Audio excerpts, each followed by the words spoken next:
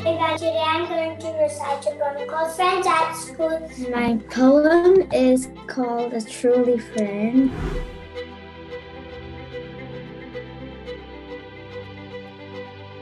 Best friends are like stars on a cloudy night.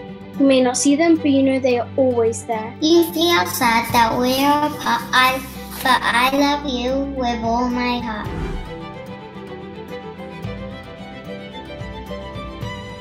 I think that God will never send a gift so precious as a friend. It's like being in a bird's nest, careful and alert. You share all your problems and help all the hurt.